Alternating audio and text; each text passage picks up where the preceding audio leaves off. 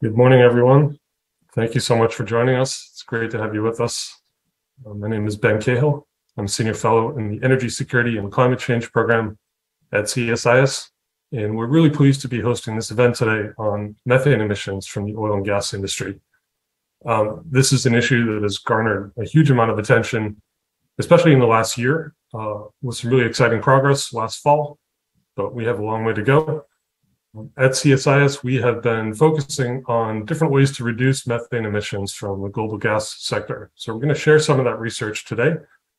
And I'm really excited that we have two terrific guests and experts to discuss the issue of methane and oil and gas with us. And I'll just introduce them briefly right now and then quickly again later. So we have two special guests. The first is Mary Streett.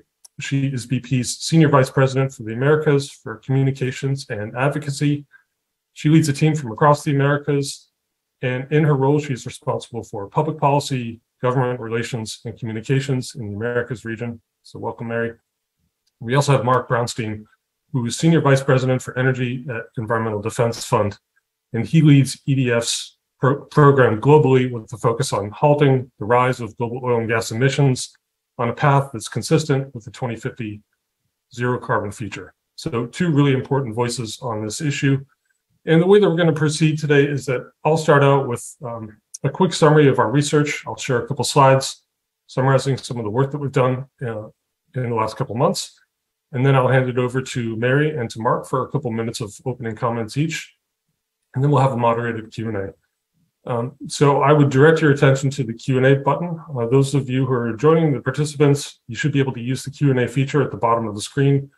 I will keep an eye on that uh, throughout the event today. I'll try to get to those questions towards the end, maybe group a couple together. So do add your questions into the Q&A feature and we'll all be able to see that. With that, I think I'm going to start sharing my screen. And I'll just quickly summarize some of the work that CSIS has done on methane emissions and global gas. So we had a lot of progress on the methane front last year. Um, at the COP26 conference in Glasgow, we had the signature of the Global Methane Pledge, which is a collective agreement to cut methane emissions around the world by 30% by the year 2030. 112 countries have signed that as of last week. The number is still growing steadily and ticking up. We also had last fall proposed methane standards from the US Environmental Protection Agency, which would apply to both new and existing sources of methane emissions from the oil and gas industry, a really important step forward. And in the European Union, we had proposed methane legislation in December, which again has some pretty important implications for how companies do measurement, reporting, and verification of methane emissions, and will create some new standards for people who want to import gas into the EU. So there was a lot of uh, momentum around methane, certainly in the run up to COP26 and afterwards. And the question that we've been asking ourselves at CSIS is what does all this mean for the global LNG industry? So a couple core questions that we're trying to answer. Um, first, how will momentum build beyond the United States and the European Union to other regions around methane cuts? Um, and in particular, how is this going to work in other countries where you don't have the same predominance of you know, private listed companies in the oil and gas industry, but rather you have a lot of state-owned utilities and national oil companies that dominate these energy sectors. Clearly, they have a different set of drivers. So how will this process take place? And then a last really interesting question is, will we see uh, the market evolve in such a way that there's a premium for cleaner, quote unquote, or less emissions intensive gas? Um, I think there are a lot of questions about data and uh, the drivers for individual companies and how closely they're monitoring this. So these are some of the core questions that we tried to answer. Uh, we published a final report a couple weeks ago, and what I'm going to do now is just spend a little bit of time touching on some of the key themes from that research. Um, and we've grouped them into you know 12 big themes. So first, uh, it was clear from all the interviews that we did, and I spoke with about you know 25 different companies in formal interviews and had lots of informal conversations with global gas players, so LNG sellers, buyers, financial institutions, regulators, and others.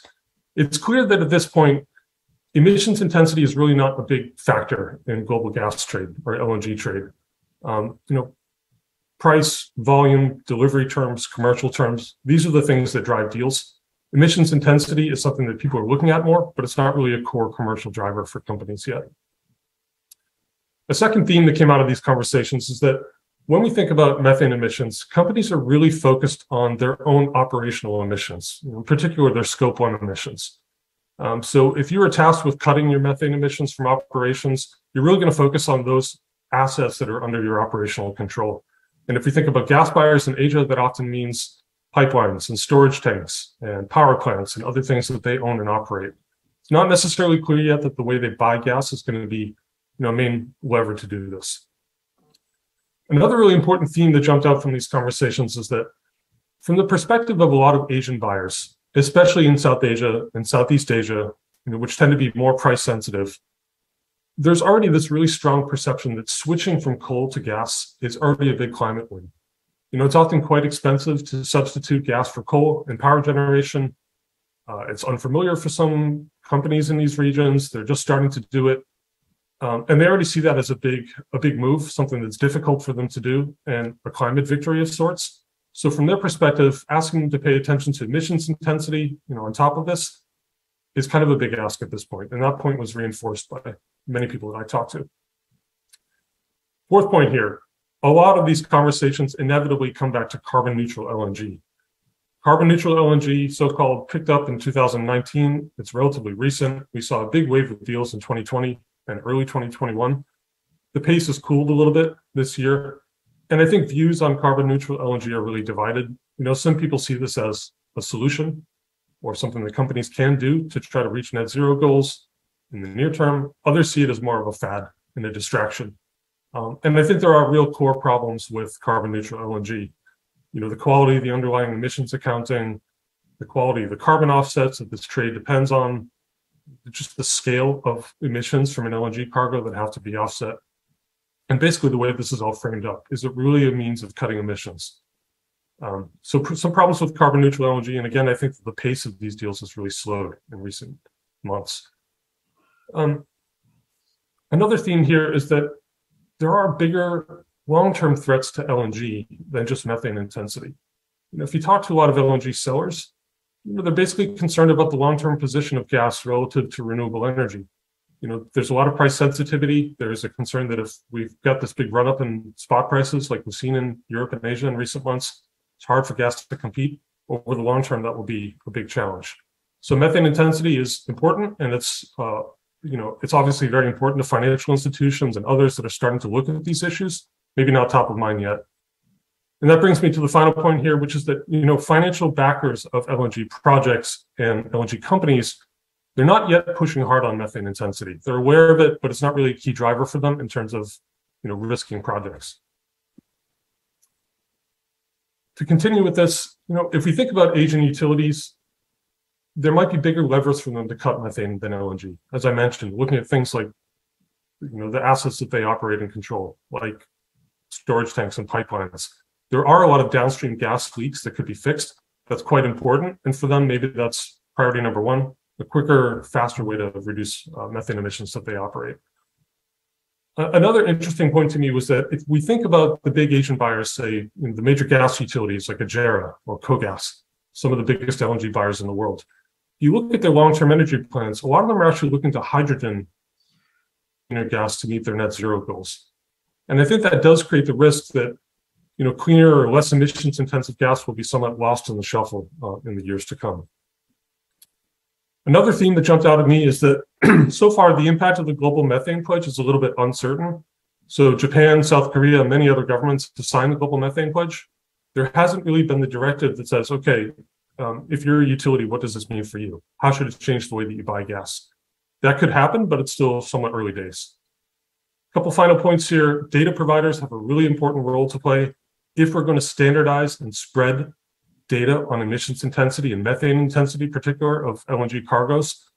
One of the big questions to me is how do the data providers step up and do this? Refinitiv, you know, Bloomberg, you know, Reuters, all these institutions, Platts that make data available and spread it throughout the industry. We have to standardize it, and those guys have a key role to play. Um, familiarity with methane detection, which I think Mary will talk about, varies quite a bit among the Asian players. Some are doing this, a lot are quite unfamiliar with it and kind of lack the confidence in the data. And then the last point, which I think is really important for a US audience, is cleaner gas could really be a big potential competitive advantage for the US LNG industry. And a few companies that I spoke with said, look, we have the right alignment of investor pressure, shareholder pressure, data, and all the things that we need to do to provide cleaner gas to the marketplace. And US LNG can lead in this way. And that, that I think is why you've seen some companies like Cheniere make early moves to to innovate and to create some new ways of, you know, doing this detailed emissions intensity life cycle analysis and offering that to customers. And I think it's early days, but they're trying to establish a market there. So I'm going to stop sharing here. And that was really just kind of food for thought. It's a snapshot. I think what I want to emphasize here is that this is a really fast evolving space. Everything around methane is evolving so quickly because of voices like Mark Brownstein and, and EDF and many others who are pushing companies on this. And I think just in the last couple months since these interviews, you know, things are evolving, but this is kind of a sense of where the Asian players are and how they're thinking about this. So we'll table some of this and bring it up in conversation later. But I'm going to stop there, and I would love to hand it over to Mary Streett from BP to give her an opportunity to give us a couple opening comments for a few minutes. So, Mary, over to you. Thank you, Ben, and thanks for inviting uh, me to participate in this conversation this morning. Um, it's we've been working with CSIS, EDF, and probably many of the participants on this call for a number of years on methane, and the topic is is really it's critically important and, and timely. So, thank you for doing this. Before we really dive into the conversation, I want to just talk a bit about BP's more recent journey. Um, since 2020, BP announced um, a new ambition to be net zero by 2050 or sooner and help the world get there, as well as uh, a new strategy. And that really, um, it's transforming from an international oil company focused on developing resources to an integrated energy company focused on delivering solutions for customers. And this involves really transforming the way um, you know that our energy system works. I mean, we think about the top emitters and and its energy and industry um, and transport, and that accounts for 70% of global emissions. So at BP, we're on this journey. We've announced the 2050 goal, but we have um, we have interim targets on absolute emission reductions, um, which uh, for 2025 and 2030, as well as um, around methane. And what we've said on methane is that we plan to install methane measurement at all of our existing um, major oil and gas sites by 2023, publish the data and then drive a 50% reduction in methane intensity in our own operations. And we can talk more about that, but I think first, um, you know, first and foremost, we've got to look at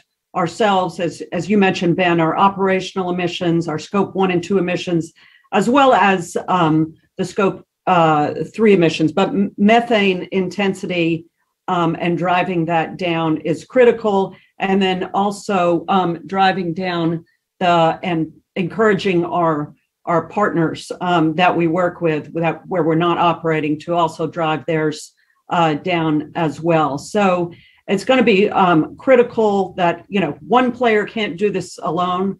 Um, in the U.S. BP, we have called for the direct federal regulation of methane, and we're working um, with partners and and others like EDF and uh, EPA on making sure that rule um, is is gets in place, but also allows for all of the different technologies that are um, being used now to to really get to the problem and for um, you know so that we can really get to actual measurement. Um, so a really well designed regulation is important ensuring that everyone in the industry is doing their part and uh, look forward to the discussion here and getting into more of these issues. So thank you.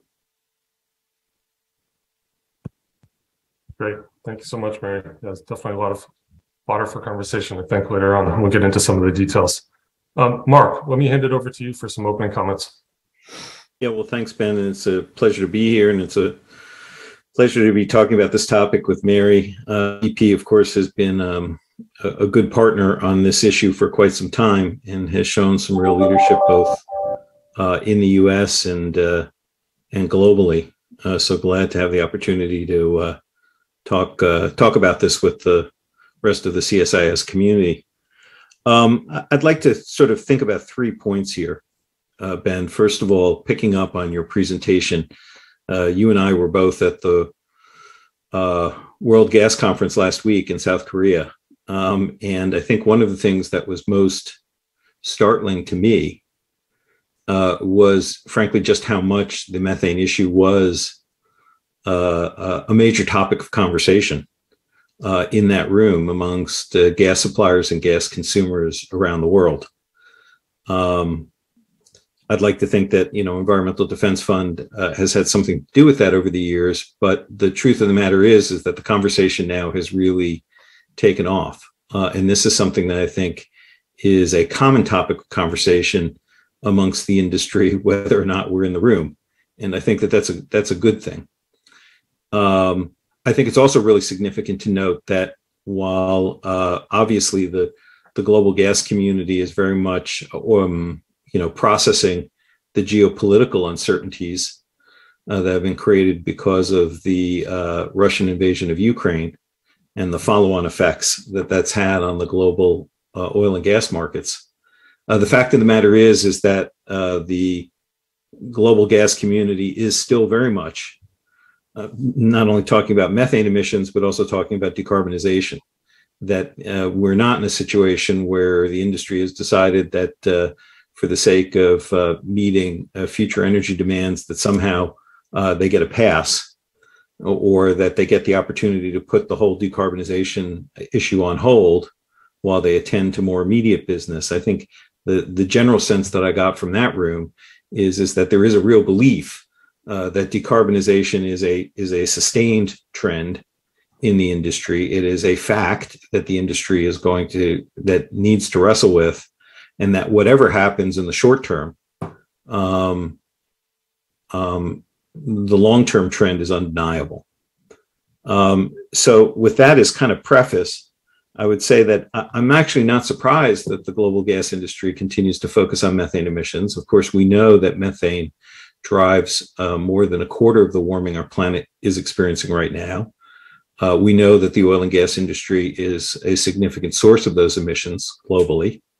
Uh, and we also know from the work of the International Energy Agency and others that this is a readily solvable problem, that the technologies to address this challenge are very much within the reach of the industry.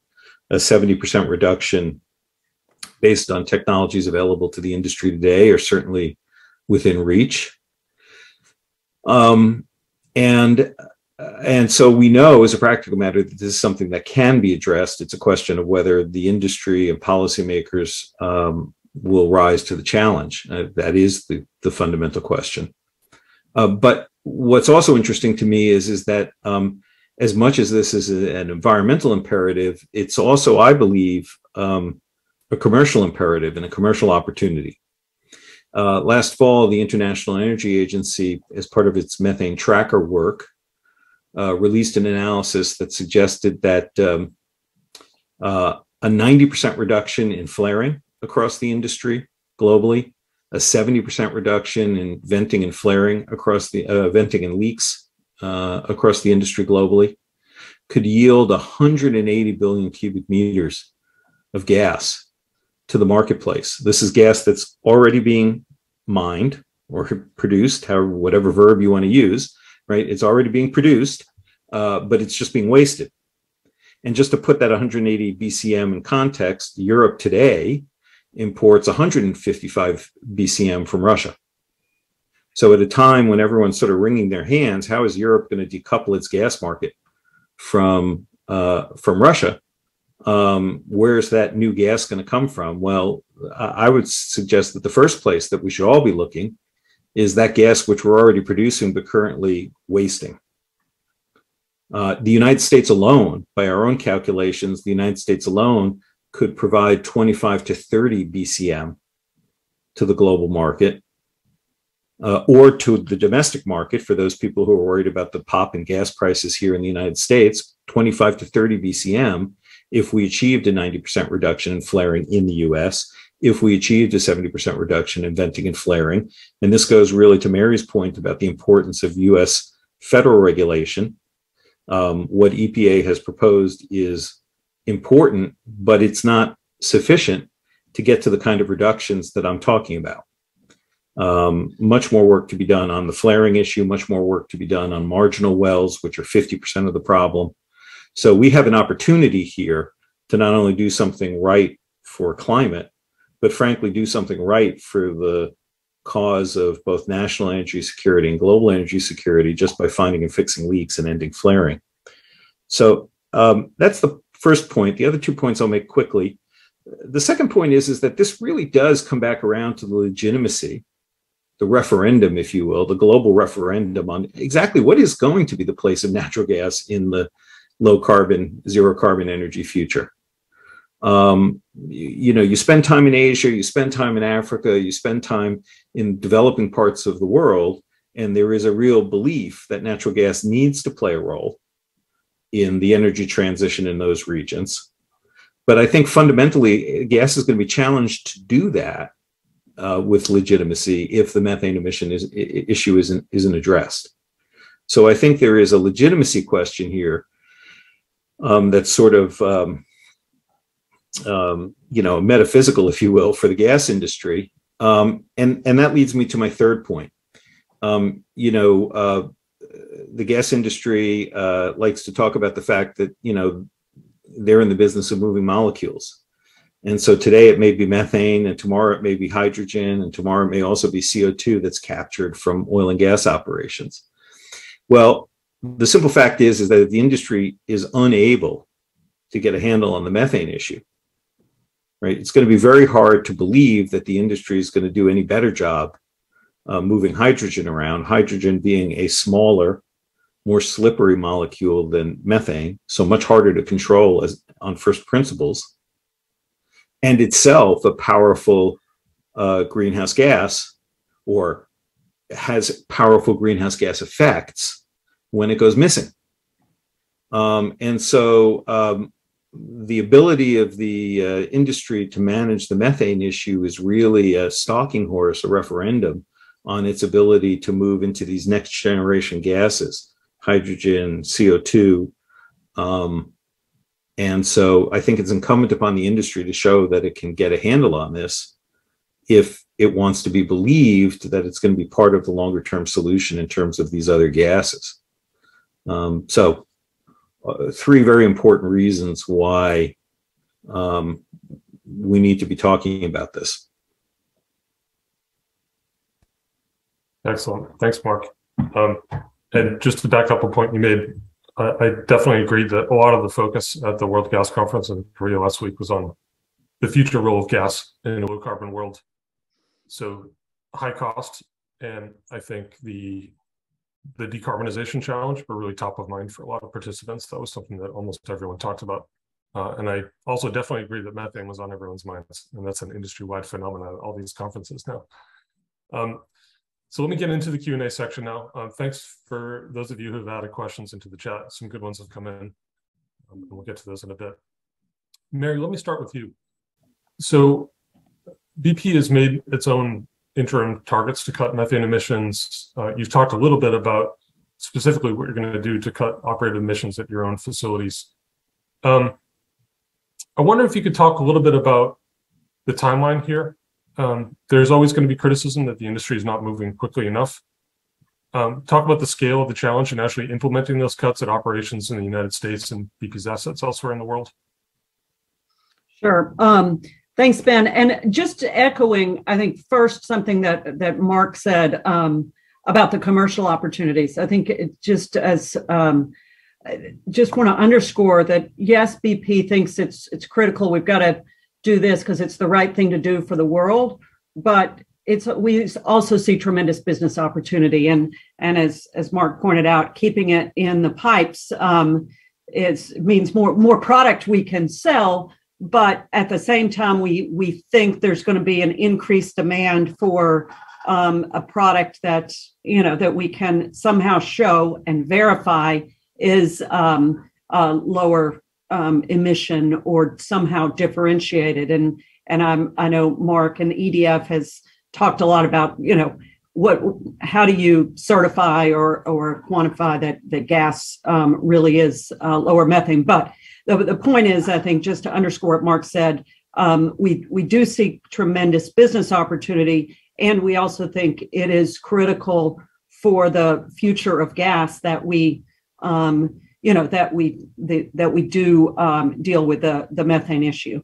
Um, but I think back to your question, will you just repeat that for me in terms of the the U.S. and global and what you were saying? Yeah, I mean, maybe you could just talk in more detail about the specific targets that BP is committed Yeah. to to cut operated Sure. emissions and some of the challenges of doing this in the United States and other assets around Yeah. the world. I think the key to all of this is is measurement and technologies that are currently available and the technologies that are developing so quickly. So at BP, um, you know, I, I mentioned earlier that we have committed to um, uh, install, you know, a measurement system at all our major oil and gas sites globally by 2023. And what does that mean? Um, when we think about the different technologies, um, there's the old handheld, you know, cameras, imaging cameras. Um, but there's also the fixed wing aircraft. There's satellites. There's drones. There's um, continuous monitoring. So all of these different um, technologies we are we have in place now in the U.S. and we're trialing them all and have them all um, in our different assets um, in the U.S. And so we think the answer is not one technology or another. And I think what makes BP unique is that we are working on how do all of these things work together. Um, and so that's, I think that's how we're approaching it both um, in the US and globally. And, you know, depending on the configuration of the site, the age of, of the site and the wells, there's not a one size fits all. So we don't think there's one technology that is the silver bullet, but it's going to be this combination of technologies uh, that really, I think, um, get us there. And and then there's, you know, how do you measure? How do you verify?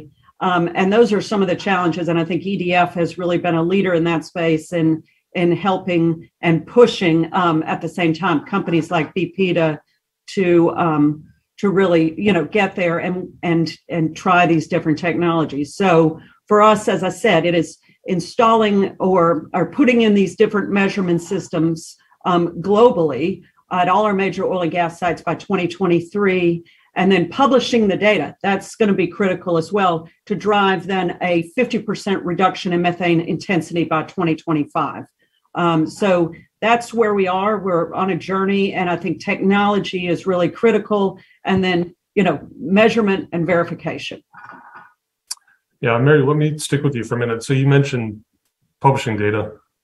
There are some initiatives to try to get the industry to speak with one voice and provide consistent data. One of these is the Oil and Gas Methane Partnership or OGMP 2.0.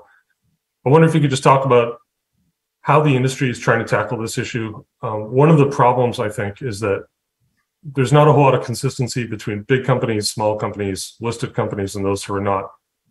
Uh, and we do have these kind of associations of, of you know of, companies like OGMP. Um, but maybe you can talk a little bit about the the type of data that you're being asked to provide by investors and the significance of, of OGMP 2.0 in particular.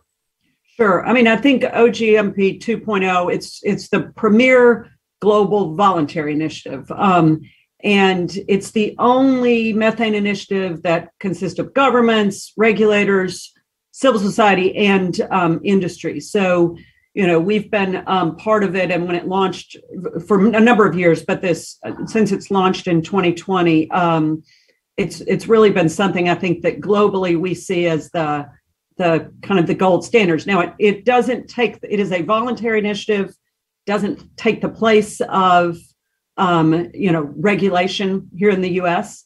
Um, but it really, um, I think, especially for the EU and as a model for EU regulation, is going to be critical. And it, it very much aligns with BP's strategy. The role of measurement, which I mentioned earlier, and moving away from emissions factors is going to be critical. And then it, you know, it speaks to addressing methane emissions both from the operated and non-operated assets.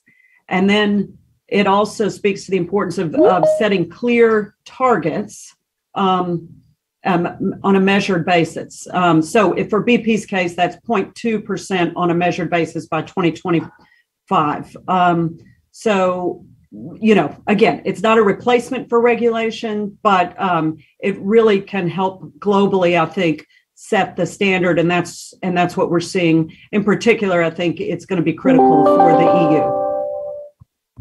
Great. Thanks, Mary. Um, Mark, let me turn to you. One question I have for you is we had all this acceleration of activity last fall, right? The EPA rules, the proposed legislation in Europe, the methane pledge.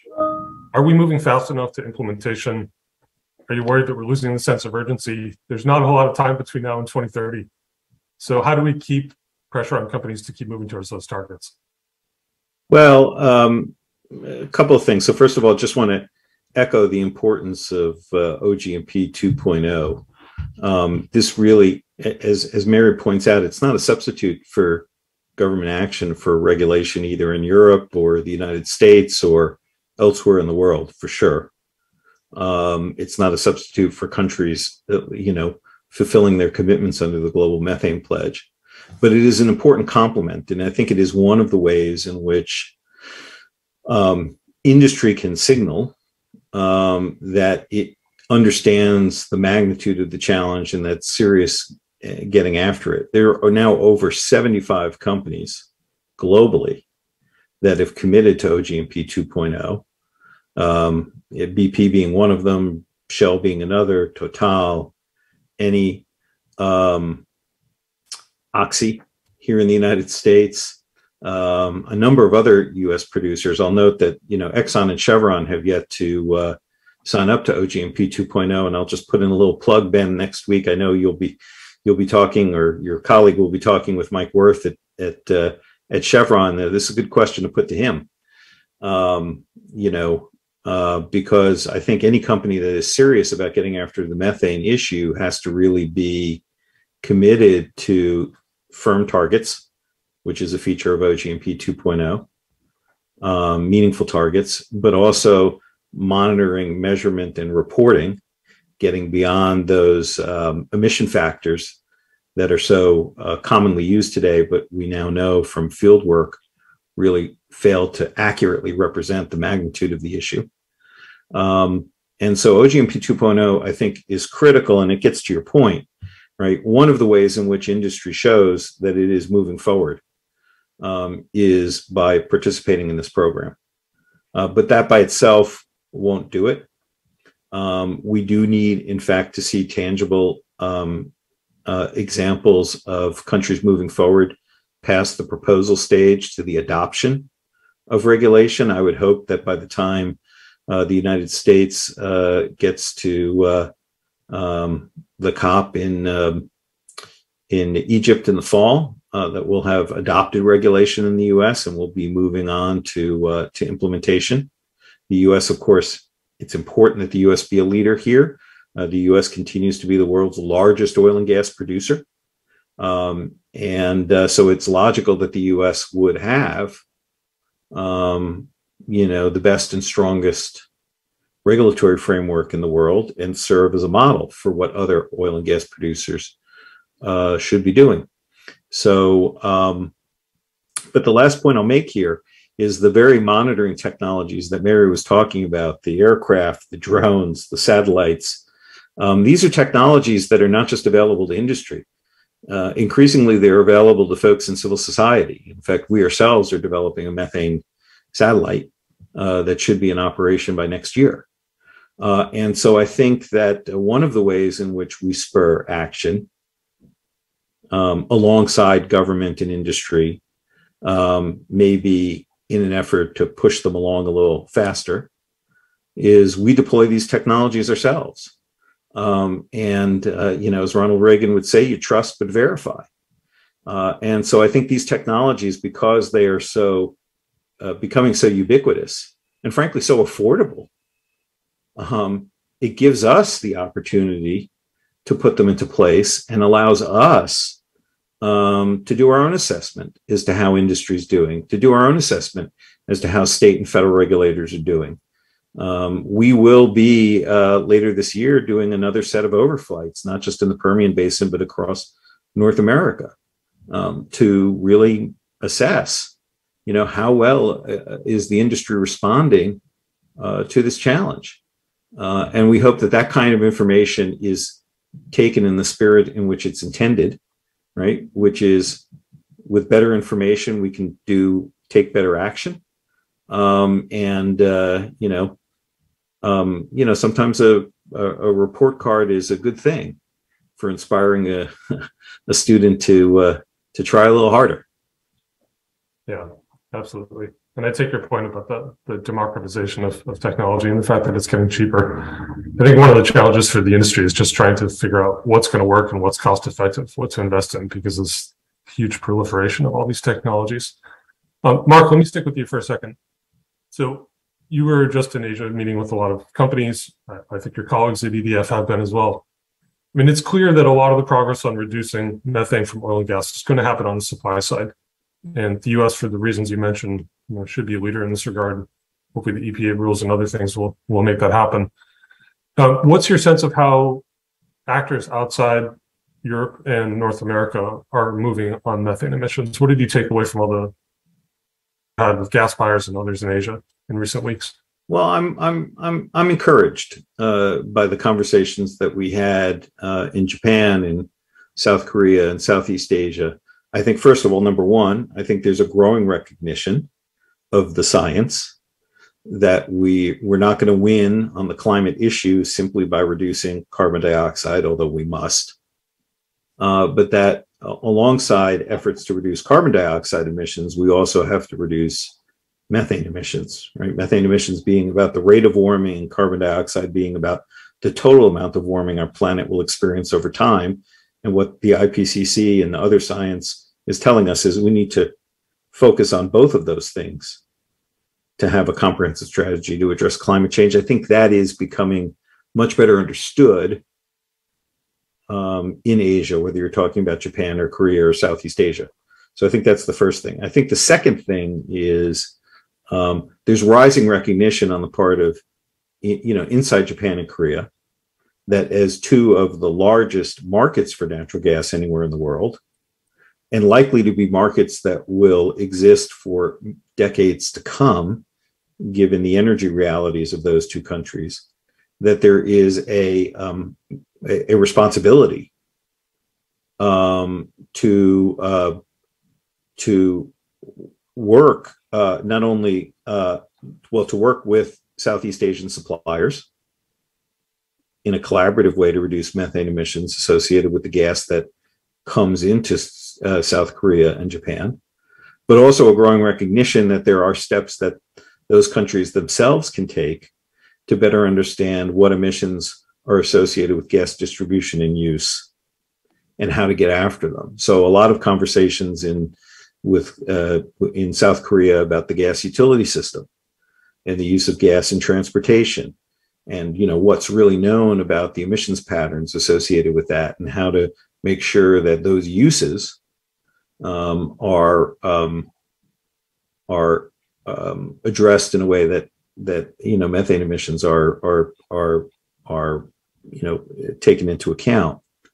Um, we just signed uh, last week a memorandum of understanding with Seoul National University, the Graduate School of Environment, which is the the first and most prominent of the schools of um, of environment in in South Korea, and we'll be working with them on strategies to improve the science and the understanding of methane emissions in South Korea, and uh, that includes both uh, you know, uh, gas uses within the country, but also gas imports.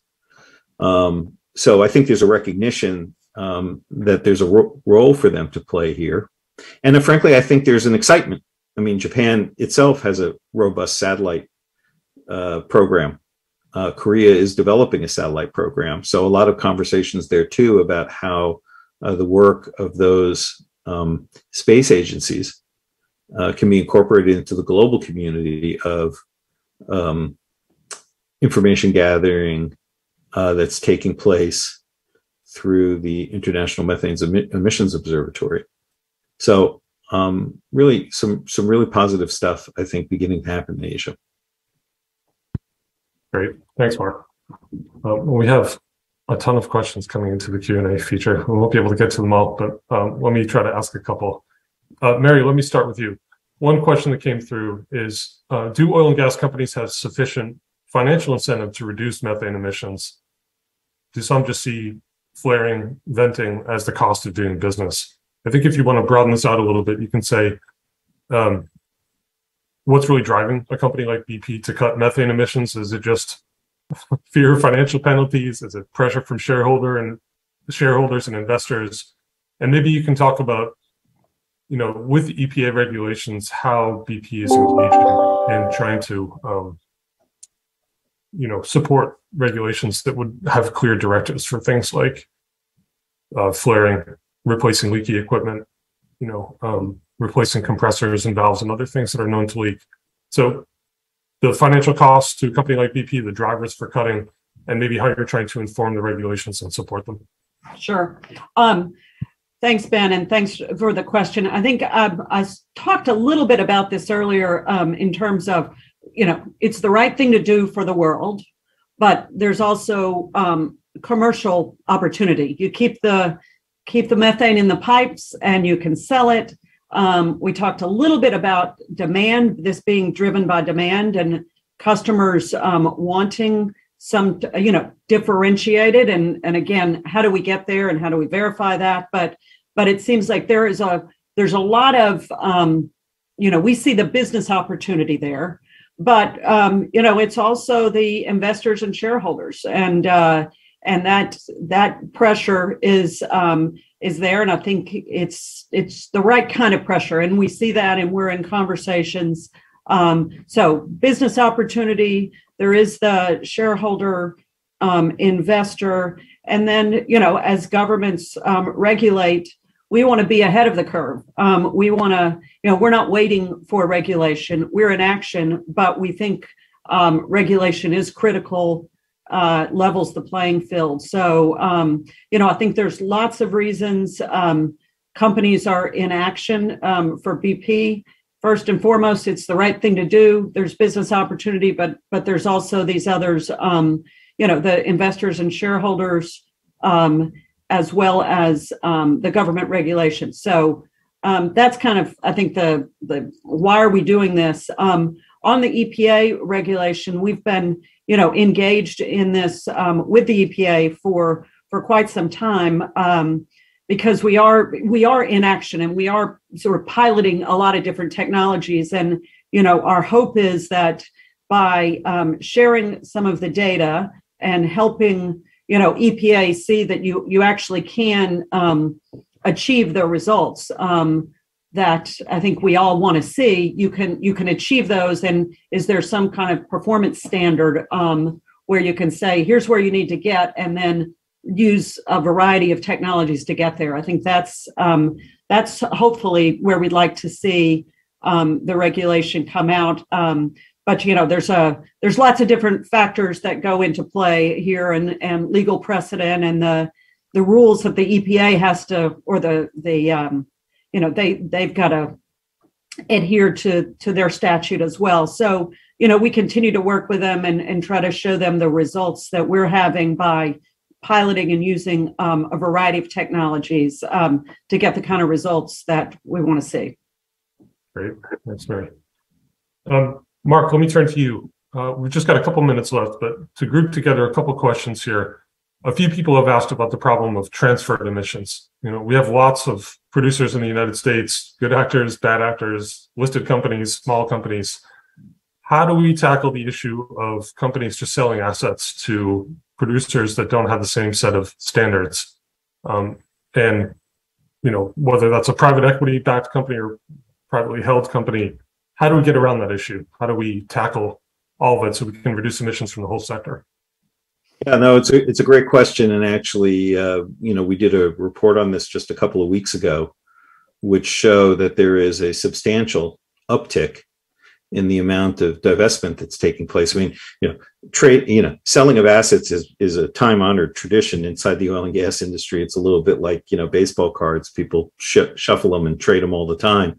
But uh, but we have noticed an uptick in that activity i think as as in fact companies begin to reshape their portfolios in either pursuit of decarbonization strategies that they have or preparing themselves uh, for the low carbon future, we're noticing an uptick in the sell off of assets um, and and a noticeable trend, you know, in terms of assets that are currently being held by companies that have, um, you know, um, Paris-based climate targets, methane management targets, uh, ESG uh, management systems, to companies that um, that in fact don't have these these basic structures in place, either um, not either to national oil companies or to um, or to uh, companies held by uh, private equity, um, and and it's a concern. Um, and uh, so uh, we're working now with folks in the investment community. We're working with folks in the industry to actually develop a set of principles that would begin to address what responsible asset divestment looks like. Now, without getting too far ahead of ourselves, right? Um, you know, one would expect to see that you know principles in place would begin to um, uh, shape the behavior of companies and those that finance them in terms of what is an acceptable asset divestiture and what is not. Um, and what kind of what kind of assurances need to be in place before an asset can move from a company that's currently reasonably well managed to a company that doesn't have that same kind of infrastructure in place or track record in place. What are the kind of uh, conditions that need to be met? But I would also say that for as much as the press is focused on uh, the companies dealing the assets and their motives for doing so, we can't lose sight of the fact that what what we ultimately need to do uh, is bring companies in the private equity community into um, the world where they are actually managing their assets responsibly. We need to continue the process of reaching out to and engaging national oil companies to put in place uh, Paris compliant decarbonization targets, to put in place methane management, to put in place ESG uh, management systems. And in fact, we can point to uh, examples of some national oil companies that are beginning to do that, such as Petronas in Malaysia or Qatar Energy in Qatar. Um, so it's not a mission impossible uh, to think that we could get more national oil companies constructively engaged in the conversation about methane management and decarbonization. Uh, but we don't have nearly enough of those companies yet. And, uh, you know, we might get to a place in time when the majority of these companies have the right management systems in place and this becomes less of an issue. So we want to make sure that the assets are, are, are being dealt to companies that have good management practices in place. And we need to make sure in turn that national oil companies, companies owned by private equity firms, actually have those systems. And I think that that is uh, that that's the challenge ahead of us. Great, thank you, Mark. Um, we're a little bit over time, but maybe if I can ask you to stick around for another minute or two, maybe just one question. I'd love to get final thoughts from both of you on this. The situation in Europe has created real concerns about energy security. There's a need to displace Russian gas we know that Russian gas is prone to lots of methane leaks from long pipeline systems and old infrastructure.